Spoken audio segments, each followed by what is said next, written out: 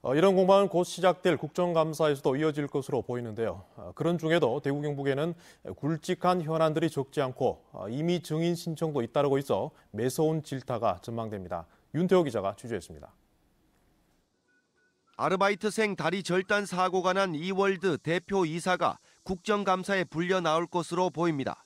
국회 환경노동위원회 한국당 강효상 의원이 다음 달 11일 국회에서 열리는 대구 고용노동청 국감에서 이월드 유병천 대표를 증인으로 신청했습니다.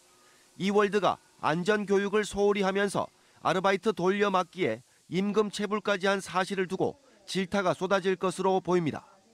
국감 증인 채택 관련해서 자료 제출 요청을 받을 경우에는 필요한 모든 자료들을 제출할 예정이고 국감에 저희 이월드 대표께서 출석하시게 되면은 네, 있는 사실 그대로 좀 답변할 수 있도록 고속도로 요금 수납원들이 직접 고용을 요구하며 20일 가까이 농성을 벌이는 한국도로공사도 정의당 심상정 대표가 이강래 사장을 증인으로 채택했습니다. 대구지방환경청 국감에서는 중금속이 포함된 폐수를 무단 배출해 행정처분을 받은 영풍 석포 재련소 사태가 집중적으로 거론될 것으로 전망됩니다.